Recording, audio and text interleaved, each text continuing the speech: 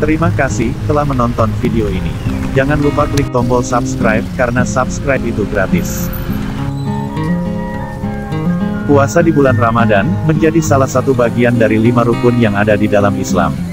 Hal inilah yang menjadi identitas seorang Muslim yang beriman dengan menjalankan ibadah puasa.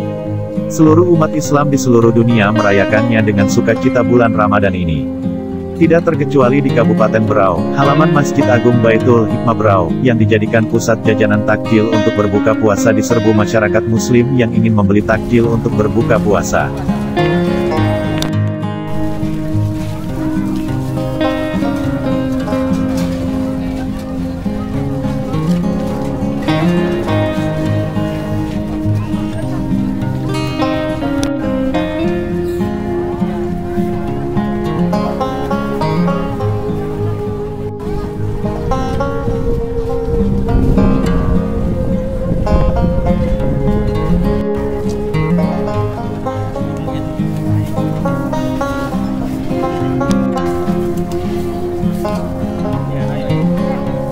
Bazar Pasar Ramadan di Masjid Agung Baitul Hikmah, Berau, Provinsi Kalimantan Timur.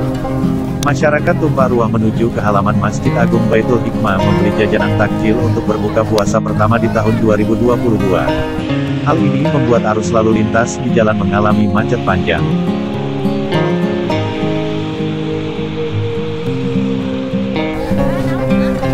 Di sini para pelaku usaha UMKM menyediakan banyak jenis takjil mulai dari yang segar-segar hingga makanan berat siap saji.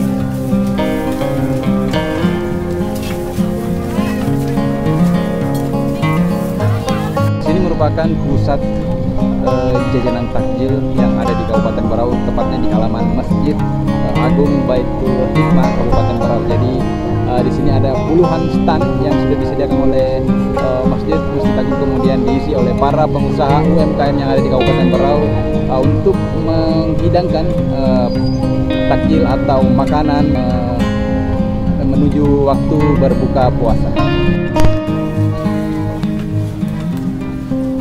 Ibarat roda yang berputar, tak terasa debu dan kerikil mengotori pula menggoresnya.